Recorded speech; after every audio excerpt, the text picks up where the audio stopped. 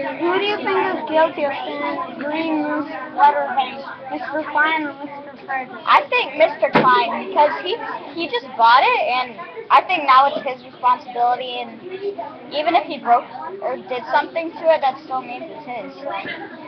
I think it's Mr. Fredricks who's guilty because, like, didn't he say that he originally built it? And why would he just keep it in storage for that long if he wanted it so bad now? Yeah. Like, that just doesn't make sense.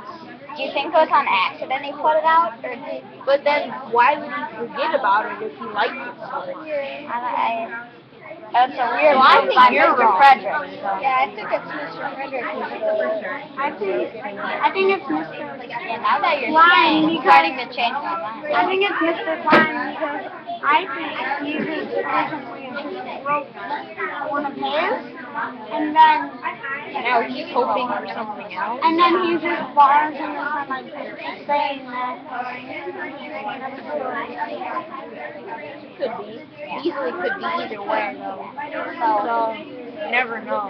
Now It'd that be a really tough question. I'm surprised that they're going to answer And the answer will be an aha moment, of course. So, Is that it? yep.